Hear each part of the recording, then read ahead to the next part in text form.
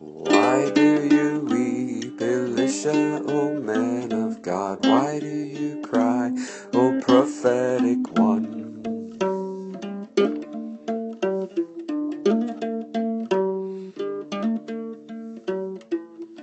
Because your master Ben Hadad surely will recover the health that he had, but he shall die in his bed, because he shall surely be murdered by the man to whom I speak.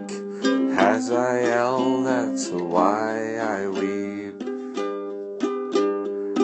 And because I know the evil you shall do to the children of Israel, young men you will slay with the sword, and women with child you will not regard.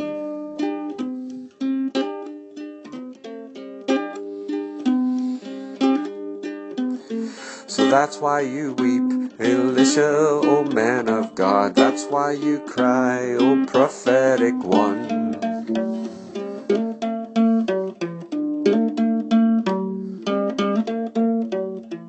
Because my master Ben Hadad surely will die by my hand. You see, he will die in his sleep. Yes, Hazael, that's why I weep.